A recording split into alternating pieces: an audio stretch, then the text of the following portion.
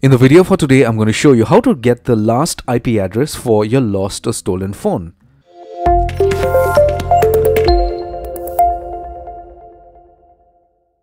What happens is that whenever a phone is stolen, in order for you to get it back, the last IP address is very, very important. It may just help you to, to track or trace a lost or stolen phone of yours. So the first thing what you need to do is get hold of a laptop or a PC. Once you do that, I want you to log into your Gmail account, which was logged in to the phone that is lost or stolen. Okay, so get onto gmail.com and then log in with the same email address. After you log into the dashboard or your inbox, I want you to scroll right down and you could see the last account activity here maybe it was 10 minutes ago or 20 minutes ago or one hour ago or just one minute ago.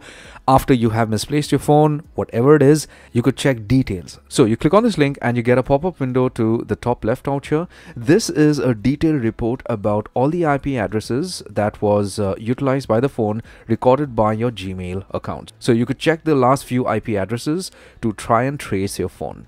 So maybe the thief was trying to do something with your phone online. So he or she connected it online and your Gmail account recorded that activity. So you could get your IP address from here. And the next thing what you need to do is ASAP or immediately get to the police station and report this tell them that your phone was lost and you tried tracing it, you didn't get it. But when you check your Gmail account, you see that the last IP address was this. So what they are going to do, or what they may just do, is try and trace the IP address to a specific location. Now, once they do that, they may or may not get your phone. But after you submit a report, you make sure you get a copy of the FIR. Get a copy.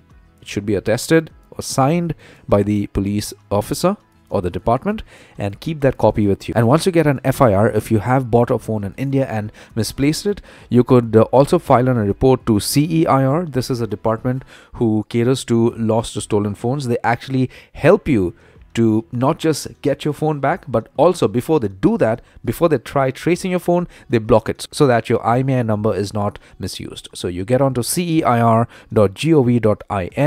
then you click on CEIR services, click on block stolen or lost mobile and then you could go ahead and fill up this form upload the FIR out here get a tracking number or a confirmation number and remember to put in your existing or an alternate phone number so that these guys can call you or get in touch with you if they find your phone now once your phone is found you get back to the same website click on CEIR services. You could uh, unblock found mobile phone. You need the confirmation number or the tracking number that you get from these guys as a request ID.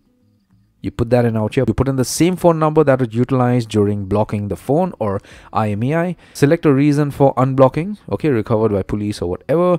Solve the captcha, put in the mobile phone number again, click this button, get an OTP, put in the OTP again, click on submit. And now this is going to help you unblock your phone after it is found. So I hope this helps and you get back your lost or stolen phone. If you need any assistance, if you think I can help you with something, please send an email to me.